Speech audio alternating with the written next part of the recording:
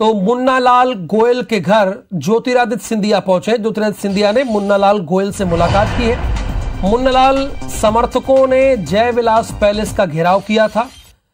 ग्वालियर पूर्व विधानसभा से माया सिंह को टिकट मिलने से नाराज़ थे। जयविलास पैलेस जो कि ज्योतिरादित्य सिंधिया का महल है, इसका घेराव किया था। तो अब ज्योतिरादित्य सिंधिया ग्वालियर की राजनीति की दांवपेच बड़े अच्छे से जानते और समझते हैं। माया सिंह को टिकट मिलने से नाराज़ थे मुन्नालाल गोयल और इसीलिए मुन्नालाल गोयल के घर पहुँचे ये चुनाव का वक्त है और अपनों को मनाने के लिए कोई कहीं भी जा सकता है। ज्योतिरादित्य सिंधिया ने मुन्नालाल गोयल से मुलाकात की है। तस्वीरें आप देख रहे हैं। मुन्नालाल के समर्थकों ने जय विलास पैलेस, जो कि ज्योतिरादित्य सिंधिया का महल है, उसका घेराव किया था।